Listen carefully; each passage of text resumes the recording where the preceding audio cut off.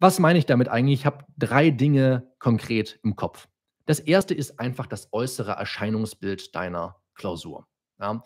Guck dir deine Klausur mit etwas zeitlichem Abstand selber mal an und überleg, okay, was könnte eine Korrektorin hieran abfacken? So. Wenn die das vorgelegt bekommt, was nervt die schon? Warum ist sie einem schon jetzt nicht wohlgesonnen, obwohl sie noch keinen Satz gelesen hat? Ja, zu den Sätzen, die du schreibst, kommen wir gleich nochmal. Was wäre eine Möglichkeit, woran das liegt? Bestes Beispiel wäre natürlich das Schriftbild. Ja, ein vernünftiges, also wirklich ein vernünftiges, meins ist auch nicht schön, um Gottes Willen. Aber eins, was man vernünftig lesen kann, wo man nicht reinkriechen muss, ja, wo man einfach zwischendurch mal einen Sichthaken macht, weil man es eh nicht gelesen hat oder nicht lesen konnte, das ist nicht der Sinn der Sache. Ja. Versuch es zumindest leserlich zu halten. Nicht so viele Sternchen. Zwischendurch mal eine Zeile freilassen, um mal einen Gedanken abzuschließen. Das sind ja keine großen Sachen. Aber die helfen einfach deiner Korrektorin ein besseres Gefühl dabei zu geben, warum sie dir jetzt auch eine bessere Note geben sollte. Ja. Das ist genauso wie eine Konkurrenzprüfung, die ein strafrechtliches Gutachten abschließt. Ja. Wenn man am Ende noch mal kurz eine Konkurrenzprüfung macht, das ist das Letzte, was die Korrektorin im Strafrecht liest von dir. Immer mit einem positiven Votum oder mit einem positiven Gefühl ins Votum wird sie geschickt. Ja, ist so, so viel wert. Ja. Äußeres Erscheinungsbild, jetzt gerade war schon so ein inhaltlicher Gedanke, kommen wir gleich nochmal drauf zurück. Dann die Frage, ist die Klausur praktisch verwertbar? Ja. Das heißt, ist sie abgeschlossen? Ja, ist alles, was du schreiben wolltest, drin? Das kann man nicht immer sicherstellen, das ist mir auch vollkommen klar. Aber die Frage ist doch, sieht das zumindest so aus? Ist das in sich geschlossen? Vermittelt das den Eindruck der Geschlossenheit? Ja? Oder bricht das Gutachten abrupt ab? Wir haben ja eine Kandidatin gehabt im Rep, die hat uns ihre Examensklausuren gezeigt und es war keine zu Ende geschrieben. Und das war ein wesentlicher Eckpfeiler für das Durchfallen. Ja? Einfach mal sicherzustellen, dass jede Klausur abgeschlossen ist, dass sie praktisch verwertbar ist. Ja? Das ist so wichtig.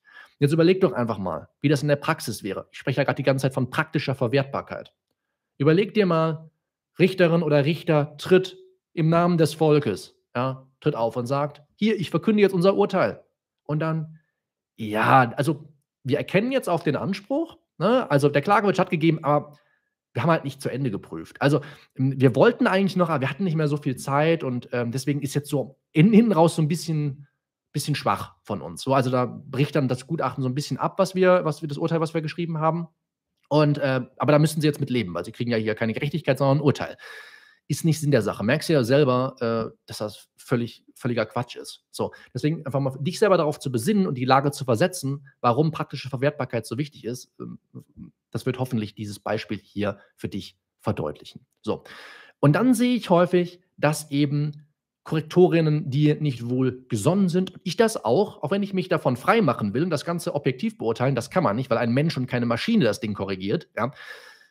Einfach, dass ich erkenne, dass Klausuren keinen klaren Fokus haben. Da fehlt es einfach am Schwerpunkt. Ja. Und damit meine ich jetzt natürlich auch, dass man sich drei, vier, fünf Schwerpunkte rauspickt, wo man auch ein bisschen mehr schreibt.